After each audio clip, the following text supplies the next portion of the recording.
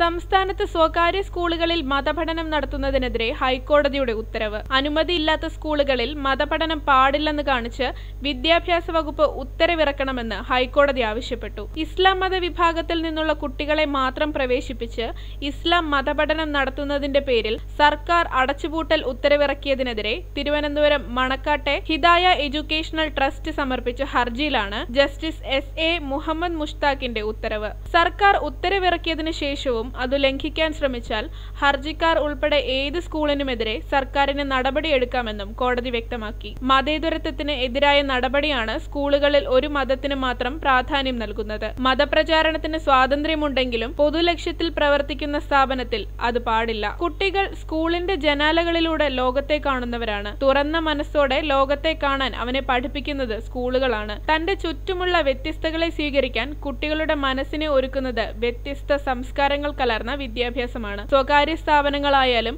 അവ പൊതുകർത്തവ്യം നിറവേറ്റാനുള്ളതാണ്. ഒരു മതേതര സമൂഹത്തിൽ സർക്കാരിന് വിഭാഗീയത കലർന്ന വിദ്യാഭ്യാസത്തിന് അനുമതി നൽകാനാവില്ലെന്നും കോടതി വ്യക്തമാക്കി. News desk real news Kerala.